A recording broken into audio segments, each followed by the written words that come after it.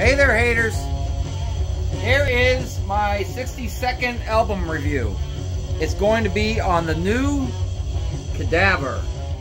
Cadaver with a K. Can you read that? Kadavar.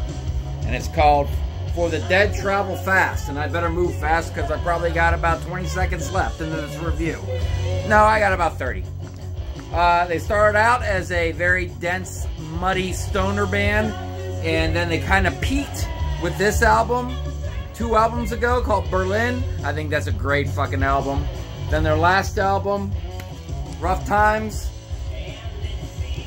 Yeah, it was Rough Times. I listened to this album maybe once or twice, and I was kind of done with it.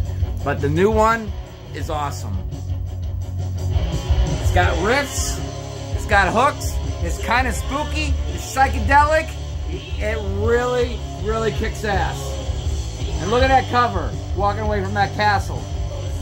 Check it out, guys. Maybe I'll put a link below.